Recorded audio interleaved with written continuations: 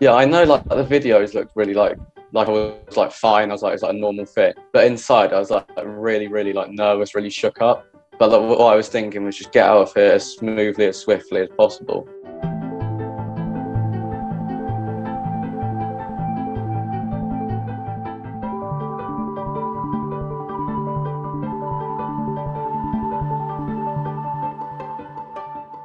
It's crazy, really, because I was trying to put it in my back of my memory, trying not to worry about it.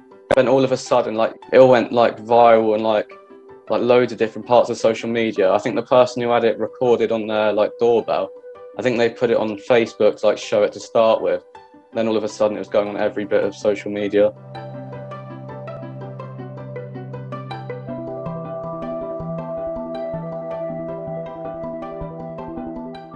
When I was in the exam, I was trying my best not to think about it, but I was still a little bit like shaken up by it throughout. But yeah, try not to think of it.